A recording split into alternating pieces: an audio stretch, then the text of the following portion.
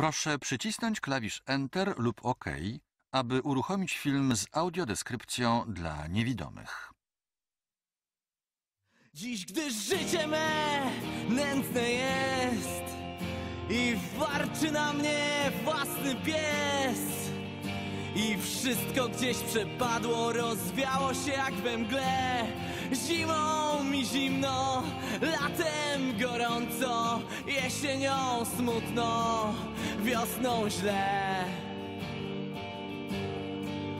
Nawet wtedy, gdy rosłem i brzydłem Już byłem pryszczatym straszydłem.